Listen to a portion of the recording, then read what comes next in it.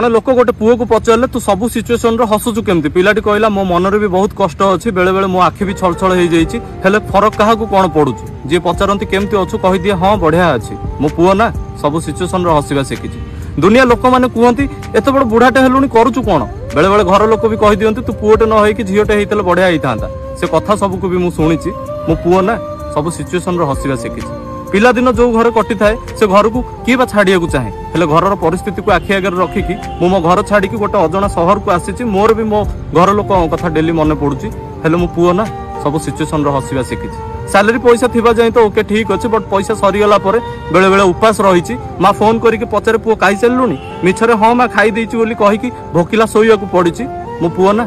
সব সিচুয়েসনর হসিবা শিখিছি